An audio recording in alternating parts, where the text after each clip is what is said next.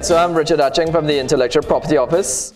Copyright and related rights are what we call automatic rights, thanks to the Berne Convention.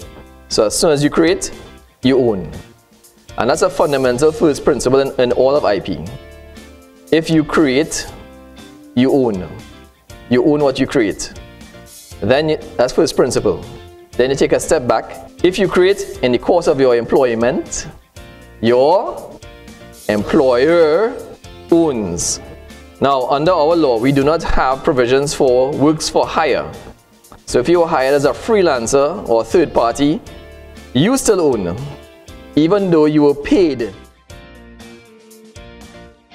Exceptions to copyright.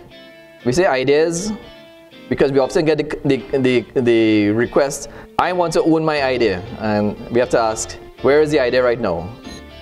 If it's still here, it's useless. you can't do anything with it. It's got to what? Come out. That's why the definition says expressed creations. It's got to come out. You've got to perform it. You've got to write it, sing it. Okay? And so you cannot own concepts. You can own what you create.